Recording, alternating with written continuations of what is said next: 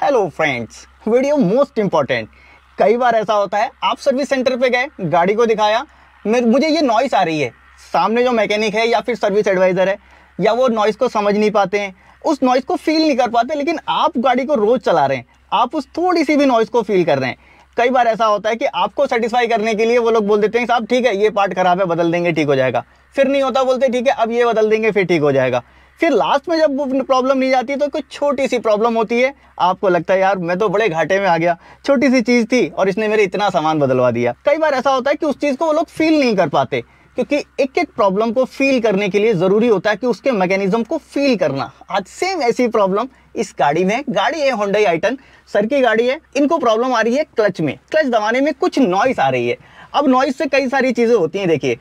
Clutch की noise है ठीक है क्लच प्लेट बदल देंगे प्रेशर प्लेट बदल देंगे क्लच बेयरिंग बदल देंगे, लेकिन जब उसकी ज़रूरत ही नहीं तो क्यों बदलेंगे? पहले चीज़ होती है समझने की। देखिए, हम एक टेक्नीशियन है तो हमको एक समझ में आता है कि हम हर चीज़ को मैकेनिकल देख के हम समझ जाते हैं। कोई नॉइस आ रही है तो उसके अंदर का मैकेनिज्म हमारे दिमाग में चलता है, फिर हम फील कर पाते हैं हाँ ये नॉइस ऐसी होगी। लेकिन जब एक कार ओनर जो टेक्निकल नहीं है, वो उन चीज़ों को कैसे एक्सप्लेन करता है, कैसे बताता है और आपको कैसे समझना होता है, ये वीडियो दोनों के लिए इन्फॉर्मेटिव होगी कार ओनर के लिए और साथ में सर्विस एडवाइजर या कार मैकेनिक कोई भी देख रहे हो, ज़रूर फ़ायदा उठाएँगे। चलिए स्टार्ट करते हैं वीडियो अब बताओ सर प्रॉब्लम क्या आ रही है आपको क्लच की? प्रॉब्लम गाड़ी चलाते वक्त कोई पिकअप की भी नहीं है, कुछ भी नहीं है, लेकिन एक इरिटेशन होता है।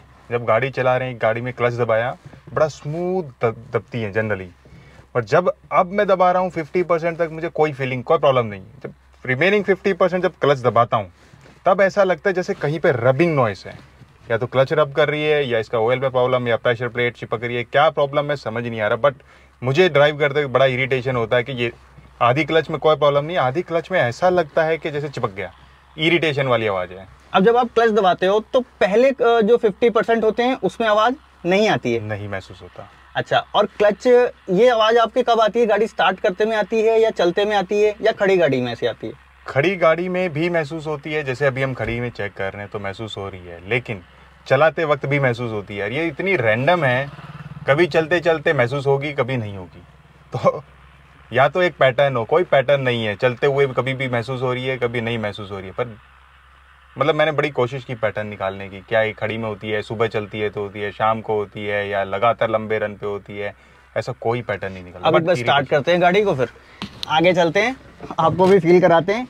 और नॉइस को सुनने के लिए ये एक स्टेटिस्कोप है मेरे पास और ये बनाया हुआ है। कैसे बनाया है वो भी बताऊँगा। काम बहुत इंपॉर्टेंट है इसका। इस तरह की नॉइस को पकड़ने में बहुत यूजफुल होता है। आगे से गाड़ी निकल जाए फिर हम गाड़ी आगे चलाते हैं। गाड़ी में कोई प्रॉब्लम नहीं पिकअप में। नॉर्मली अगर अभी बिल्कुल नॉर्मल क्लच है कोई प्रॉब्लम नहीं है बाद में। अभी हम खड़े कर रहे थे चेक तब उसमें प्रॉब्लम महसूस हो रही थी। गाड़ी ऑन थी तब भी वो प्रॉब्लम महसूस हो रही थी।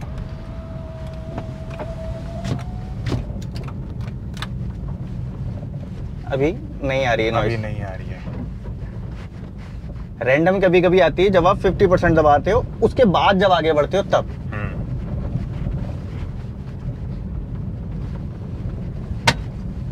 अभी जब हम गाड़ी चला रहे थे टेस्ट कर रहे थे तब आ रही थी। इससे पहले हम लोग ऑफ़ कैमरा टेस्ट कर रहे थे। दो तीन जगह मुझे वो नॉइस आई। लेकिन वो बहुत देखने के बाद बहुत समझने के बाद आई। अभी मैं टेस्ट अभी हम लोग टेस्ट कर रहे हैं। देखो नॉइस नहीं आ रही है। जैसे आएगी वैसे मैं फील कराऊँगा आपको।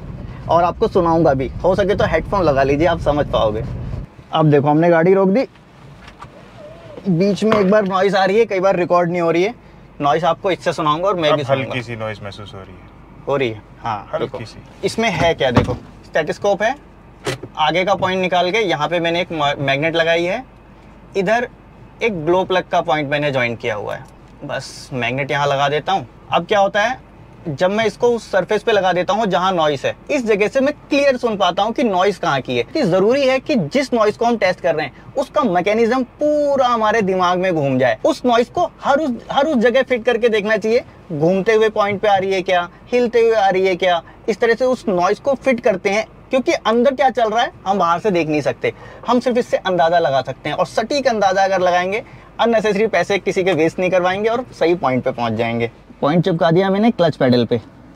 इससे हमको फील हो पाएगा कि ये क्लच पैडल के यहाँ से है आवाज़, या फिर गेयर बॉक्स के अंदर से। अब इसको मैं एक बार कान में लगाता हूँ। फिफ्टी परसेंट पे रोको।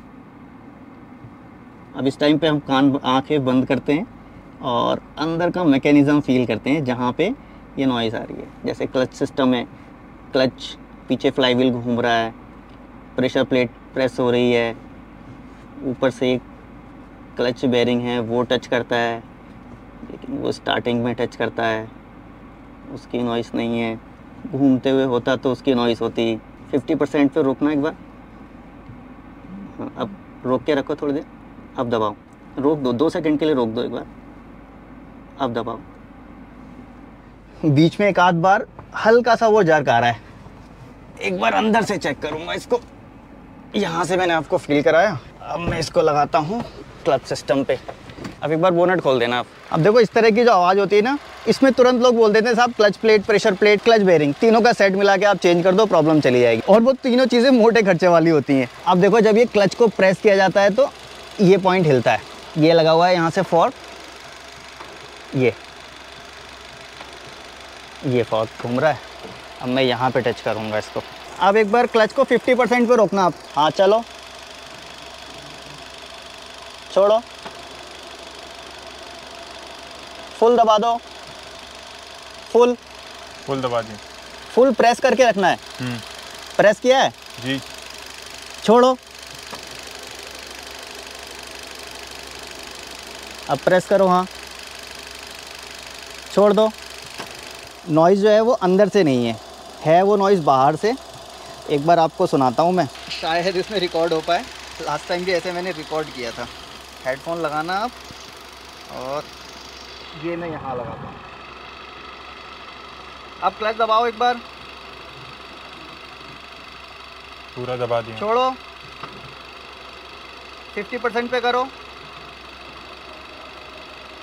छोड़ो।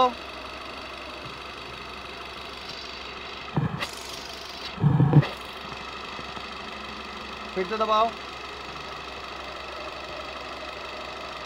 छोड़ो। अब एक बार क्लच से पैर हटा लो पूरी तरह। हम्म। पूरी तरह हटा लिया? हाँ।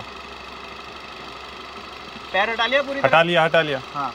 अब हल्का सा पैर रखो बस फाइव परसेंट हाँ। कोई आवाज़ नहीं है। अब दबाओ।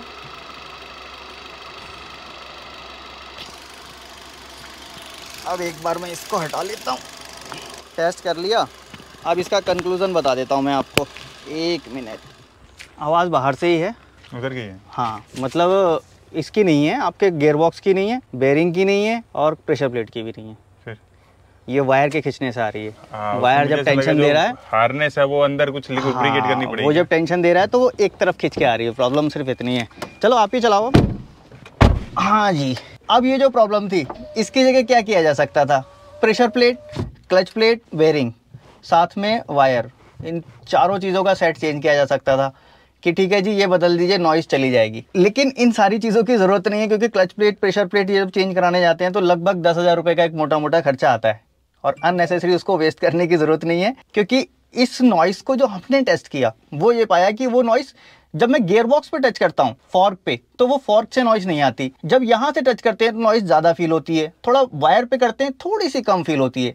इट मीन्स कि जब हम इसको प्रेस करते हैं वायर टेंशन लेता है और बीच में वो कहीं रगड़ने की आवाज़ कर रहा है। और इस नॉइस को ख़त्म करने के लिए या तो वायर को लुब्रिकेट कर देंगे, तब भी चल जाएगा, या तो फिर अगर ज़रूरत पड़ती है कि वायर वाकई में ख़राब हो गया तो सिर्फ़ क्लच वायर को भी चेंज करके काम चलाया जा सकता है। बाकी और कोई मेजर प्रॉब्लम इसमें नहीं है। हाँ थोड़ा बहुत क्लच हार्ड है, क्योंकि गाड़ी का मॉडल 2016 का है, चली हुई चालीस हज़ार किलोमीटर है।